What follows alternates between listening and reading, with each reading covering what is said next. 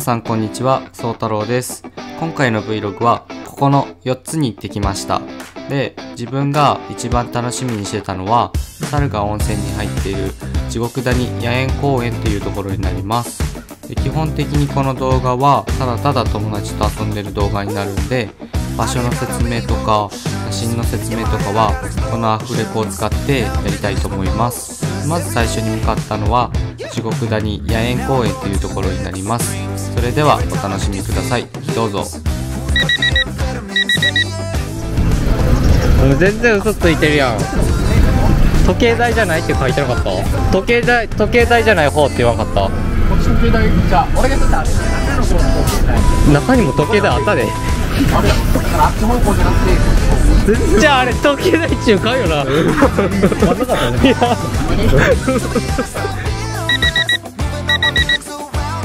20やろう。ん。20って20不便やな。こう考えると。うん。かわいい。使うと多分俺もあれ一緒にしていい？お前の。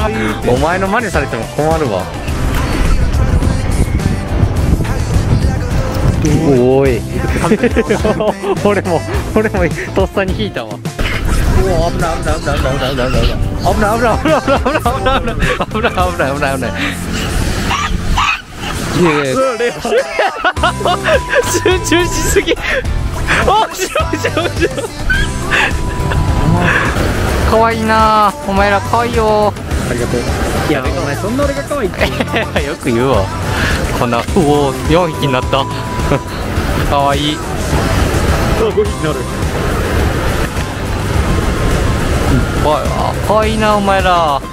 こんな何兄弟？5人兄弟くらいおるんちゃうこれかわいい。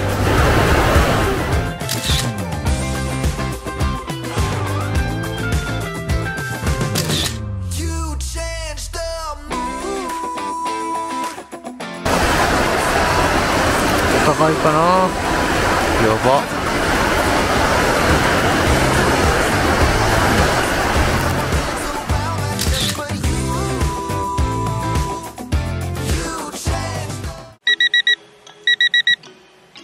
皆さんどうでした？猿めちゃめちゃ可愛くなかったですか？さすがにボス猿とか来たらかなりびっくりしちゃったんですけどそれでもめちゃめちゃ可愛かったです。で今回自分は前日に広角レンズを買ってもう広角レンズでしか撮らんってずっと思ってたんですけどまだ慣れてないっていうのもあってめちゃめちゃ難しくて撮れる写真も全然撮れなかったっていう感じでした。で次行く時はまあ、雪が降ってる時にまた行きたいなと思いました。でその時は、まあ、広角レンズと標準域のレンズを持って行きたいなと思いました。で次来た場所が君の名の聖地って呼ばれている高墓地高原っていうところに来ました。でやっぱり聖地って言われてるだけあってすっごく景色も綺麗でんでやっぱり映画「君の名に」のところにすっごく似てました。でこの日その夕方になってからすっごい風が吹いてきてその風は三脚でどうにかなったんですけど手がもうすっごく寒くてもう冷たくて全然写真が撮れるっていう感じじゃなくて自分はもうすぐに諦めてしまってあんまりいい写真が撮れなかったです。でも友達とかは寒さに耐え抜いて頑張って写真を撮ってました。やっぱりすごいなって思いました。自分は寒いのがすっごい苦手ですぐ諦めちゃうタイプなんでやっぱそういうところは感心しました。で自分が写真撮ったのがこちらになります。どうぞ。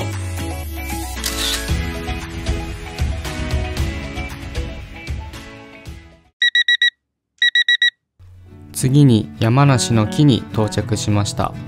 なんで山梨の木って呼ばれてるのかはまあ知らないんですけど山梨だからかもしれないですね。でえっ、とこの日予報では晴れってなってたんですけど全然来た時は晴れてなくてでわこれ無理かなって思って一旦1時間ぐらい休憩してからもう一回見に行こうってなって今下ってるっていう感じです。でその1時間後なんですけど、まあ、最初は曇ってて大していい写真が撮れなくてもうで曇ってるというかもう霧の状態で全然見えなかったっていう感じです。一旦この写真を見てください。どうぞ。すっごく曇ってないですか？最初はもうこれダメだって思ったんですけど30分もしたら一気に晴れてきて次の写真になりました。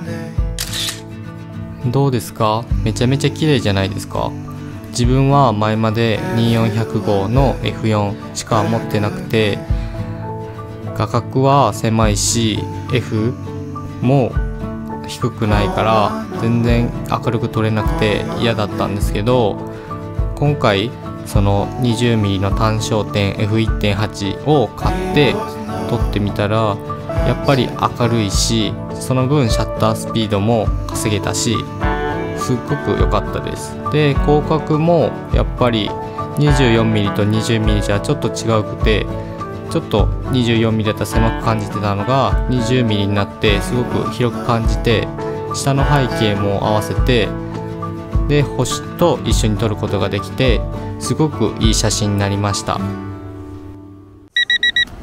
いやええやん別に。富士入れたよな。え撮りたいから持ってよ。どうせお前フィルムやろ。あ知ってるから。いいよ。見るよ。これはもう携帯の方が綺麗よ。な逆にいるかしょうかお前ここはほんまに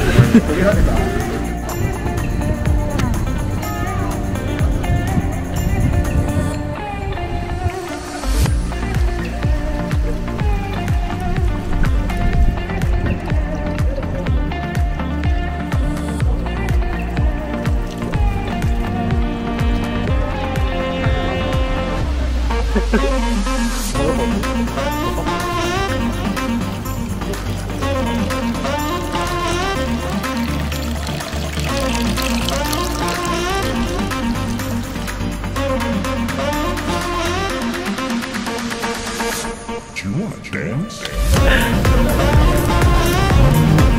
いあバカ寒いなどうですかお味は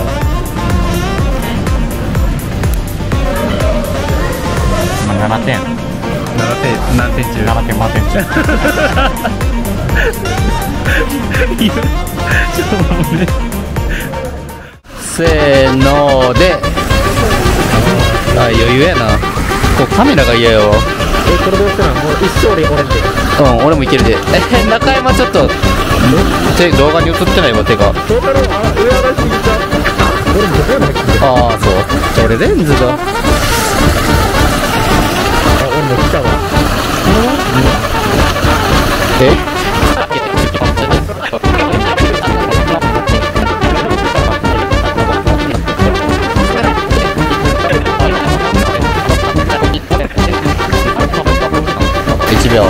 5分ほんまにせーのであげよう。もう終わらせーので。